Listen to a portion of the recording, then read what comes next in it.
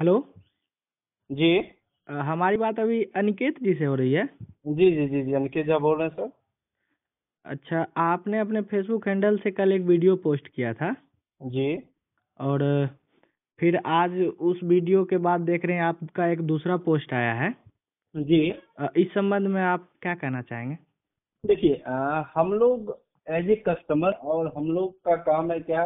कि हम लोग कहीं पे भी जाते हैं तो हम लोग कोशिश करते हैं कि अच्छी गुणवत्ता वाली चीज़ मिले। बेसिकली गंगाराम में गुणवत्ता तो ठीक ही मिल रही थी। इधर एक कीड़े वाला वीडियो मिला था क्योंकि हम लोग वहाँ पे जाते रहते हैं तो हम लोग कोशिश करेंगे कि जहाँ पे भी खा रहे हैं, साफ़, स्वच्छ भोजन मिले। कल हमको फिर गंगाराम के मैनेजमेंट के द्वारा हमें कॉल आया था हमारे पास और और हमें आश्वासन दिलाया गया कि ये जो वीडियो था, ये था दीपशिखा रोड वाले का। और कहा गया कि उसका जो डाइनिंग एरिया है, वहाँ पे उसको शीशा से पैक कर दिया जाएगा, ताकि बाहर से कोई कीड़ा मकोड़ा अंदर ना आवे। अब वो कीड़ा कहाँ से आया, इसकी जानकारी हमारे पास नहीं है। लेकिन उनका जो कहना हुआ कि वहाँ पे एक पेड़ है उसमें एक मधुमक्खी का वो छत्ता लगा हुआ है, उसी से आकर के गिरा था। लेकिन अब अब आश्वासन दिया गया कि वो इनके जितने भी स्टोर हैं, सबके डाइनिंग एरिया को शीशा वाले ग्लास से घेर दिए जाएँगे ताकि बाहर से किसी भी तरह का कीड़ा या अन्य चीज़ खाना में आकर के ना पड़े। तो हमें लगा कि नहीं अगर अ, कोई भी व्यवसाय अपनी गलती को मान रहा है तो अ, हमें भी उस चीज़ को अगर कोई अच्छा काम कर रहा है तो अच्छा हमको दिखाना चाहिए। गलत किया तो हम उसका विरोध भी किए उसका वीडियो अभी भी हमारे आईडी पे है लेकिन वो जब अच्छा काम का आश्वासन दे रहे हैं कि हम हम अपनी गलती को स्वीकारते हैं और इसमें हम सुधार लाएँगे तो इसलिए हमको लगा कि ये इस तरह का पोस्ट करना चाहिए देखिए अभी सोशल मीडिया पे ये मैटर पूरा वायरल हो रहा है सैकड़ों लोग फेसबुक इंस्टा वगैरह वगैरह और भी जितने हैंडल हैं जो भी होते हैं सोशल मीडिया के प्लेटफॉर्म हैं उस पे जी। ये मुद्दा ट्रेंडिंग में है और आज आपका जो एक पोस्ट आता है सुबह में, उसके बाद लोगों का जो रिएक्शन है, उसमें तरह तरह की बातें सामने आ रही है, जैसे इनको धमकाया गया सेटलमेंट हो गया मैनेज हो गया, बात से मुकर गए। तो इन सब चीज़ों में कितनी सत्यता है? आप क्या कहते हैं? देखिए घनश्याम जी सेटलमेंट का मतलब होता है कि अगर हमको निगेटिव रूप से सेटलमेंट अगर मैनेजमेंट करता, यानी कि हमको धमकाता या रुपया देता तो हम उस वीडियो को डिलीट करते सबसे पहले। लेकिन आपने देखा होगा कि वीडियो हमारे फेसबुक प्रोफ़ाइल पे जैसे था वैसे ही है, उसमें हमने कोई चेंजमेंट नहीं किया वो गलती थी गंगा नाम की, वो गलती पे हमने उनका विरोध किया।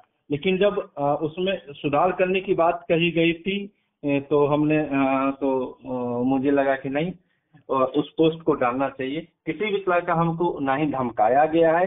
ना ही हम पे दबाव बनाया गया है। मुझे, क्योंकि एज ए कस्टमर क्योंकि हम गंगाराम में जाते थे और आगे भी जाएँगे। गलती हुई, सुधार का बात किया गया और सुधार किया भी जाएगा, जिस अनुसार से मुझे कर कहा गया था कि नहीं, हम बेहतर सुधार करेंगे उसमें। तो सुधार किया भी जाएगा। ना ही हमें कोई रुपया दिया गया या हमको धमकी दिया गया। रुपया दिया जाता तो हम उस वीडियो को डिलीट कर देते। लास्ट में एक क्वेश्चन लेना चाहेंगे आपसे कि ये वीडियो जो आपने अपने आईडी से जो पोस्ट किया है वो वीडियो आपने अपने फ़ोन से शूट किया या फिर आपको किसी से मिला नहीं, ये नहीं। क्या वाक्य है पूरा? इसको थोड़ा बताएँगे आपने आपने देखा होगा कि वो जो पोस्ट लिखा हुआ है कल का जो पोस्ट है उसमें शुरू में ही लिखा हुआ है कि वायरल वीडियो अच्छा। ना?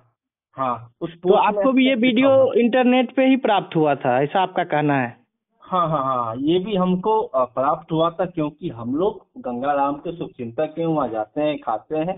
तो हम लोग अगर किसी भी जगह पे जाते हैं, खाते हैं तो वहाँ पे अगर कुछ खामियाँ दिखती है तो हम लोग को विरोध करना पड़ता है वहाँ पे। कोई भी हो, आप भी विरोध करते होंगे, सब लोग करते हैं, विरोध करते हैं उस चीज़ का।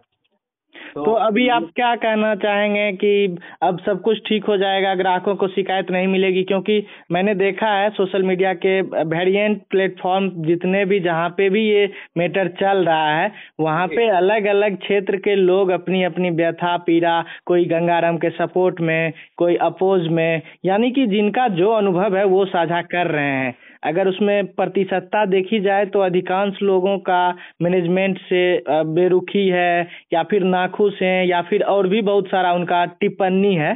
तो आप एज ए कस्टमर अभी क्या कहना चाह रहे हैं? कि आप इस चीज़ की गारंटी लेंगे कि जो मतलब आपने वीडियो पोस्ट किया, वैसा बाकी फिर नहीं होगा? या फिर इस संदर्भ में आपको मैनेजमेंट की तरफ़ से क्या भरोसा दिया गया है? देखिए बेसिकली क्या है कि हम भी एक बिज़नेस को चलाते हैं तो एज ए बिज़नेस में हम भी जानते हैं कि ज़्यादा कर्मचारी को या ज़्यादा स्टोर को रन कर पाना थोड़ा सा डिफ़िकल्ट होता है। हम लोग एक एस बना करके दे देते हैं, उसके साथ जो टीम है वो अपना काम करती है और टीम में चूक भी होती है। टीम में सभी एक जैसे लोग नहीं होते हैं और टीम से चूक हुई जिनका खमियाजा उनको भुगतना करता नहीं नहीं एसओपी की जब आपने बात की है तो हम ये जानना चाहेंगे कि क्या मतलब गंगाराम मैनेजमेंट जो अपना आउटलेट बांटता है फिर बांटने के बाद से उसका मतलब खत्म हो जाता है या फिर वहाँ पे स्वच्छता गुणवत्ता आदि की भी रेंडमली जाँच की जाती है। क्या ये इस चीज़ की जानकारी आप आपको मैनेजमेंट ने दिया है? हाँ या ना में बताएँ। नहीं नहीं नहीं नहीं। इस इस संदर्भ में हमारे उनसे कोई बात नहीं। हुई हमारे रेंडम जाँच करते हैं कभी क्या किसी आउटलेट का?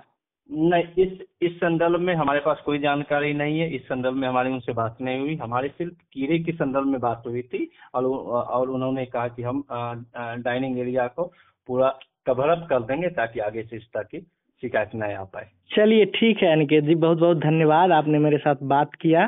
दरअसल ये पूरा मामला अभी दुर्गा पूजा से पहले बेगूसराय शहर में शहर वासियों के बीच जो है काफ़ी ट्रेंड में था। तो मैंने आपसे बात किया है और अब इस पूरे मामले को अब जिलावासी भी समझेंगे और स्वतः विवेक के आधार पे स्व विवेक के आधार पे वो सभी लोग अपना फैसला लेने के लिए स्वतंत्र हैं।